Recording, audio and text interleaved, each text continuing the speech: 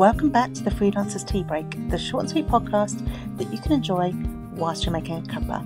I'm Emma Cossey, a coach for freelancers, and I'm here to chat to you about tips, tricks, and advice for freelancers. Okay, let's talk about something that can help you with the cost of living crisis at the moment it's something that a lot of small business and freelancers are affected by, not just because of bills, not just because of food costs. Oh my God, the cost of food is insane, but it is also all those subscriptions that we have as freelancers and small businesses to help us run our business. So everything from the bookkeeping software that you might use, the scheduling tools, even things like like I use Canva and things like that. There are I use a lot of tools, partly because of my ADHD, but most people I know have at least a few tools that they use and pay for monthly or annually. With the cost of things increasing, like I'm getting a lot of emails at the moment from a lot of these providers saying we're having to increase the subscription plans or the pricing plans, things like that.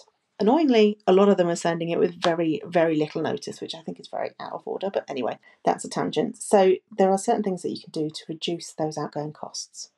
So, the first thing is review whether you actually need them. And the biggest question I ask here is what return on investment do I get? Is it like more than an hour a month that I get back from admin things that I would be doing? Or is it um, actually bringing me in clients and things like that?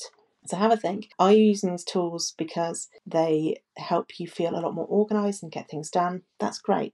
Or is it for a case, like for, for an example, I realized that I was paying for a Pinterest tool and I get a little bit of traffic from Pinterest, but actually, most of my clients come from my Facebook group, from this podcast, from my newsletter, from Instagram, and a lot at the moment from LinkedIn. So I realised actually there was no point me spending out for a Pinterest tool when that doesn't tend to bring me in clients. So think about whether those expenditures are bringing you in any kind of return on investment.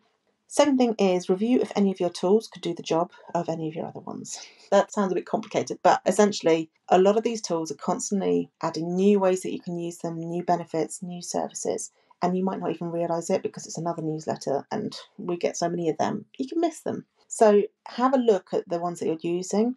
There might be kind of the case that it makes you realize, oh, well, I've got those two tools, but actually that one tool there that I'm subscribed to already does the job of the second tool. I just didn't know it was part of it. So go in, have a good research of the tools and the things that you subscribe to, and see if there's any way that you're kind of duplicating and you can reduce the cost that way. Finally, haggle. And I know this is a, well, for me, for someone who is a coach for freelancers and often tells people not to haggle, don't reduce your fees for no reason. I actually think this is different for a lot of these software companies they have things in place to allow for this. If you go into like their chatbots or their on live chat people with the teams and say, I'm thinking about leaving, are there any lower price packages that would be better suited to me? Or just I'm thinking of leaving, they will often come back with something else, like a special offer or a discounted rate for six months, things like that. So it's always worth asking. If you don't ask, you don't get and they may be able to offer you a cheaper package, or that you might even be able to look at the free package for the moment until cost of living improves, hopefully, in which case then you can go back up to a higher package. But it might be worth looking at whether you need to reduce your package or whether they can offer you something. Additionally, it's worth looking and seeing if there are any voucher codes out there. A lot of them will be like for first time users. Sometimes you can be a bit cheeky and use a different email address.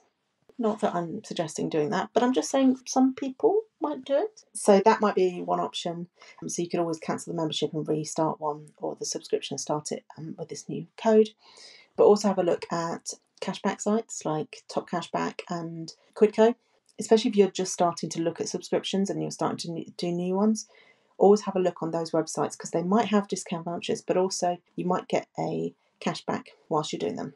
And one extra point actually I've just thought of is check if these tools have got affiliate income or affiliate programs because some of them will have it where if you invite other people to their service or their, their subscriptions and you've referred them, they can take that money off your own subscription. Now, I'd only do this with tools that you love, and I have on the website, I'll put the, the links in the details. I've got a whole page of all the tools that I genuinely love and really value and think are worth it.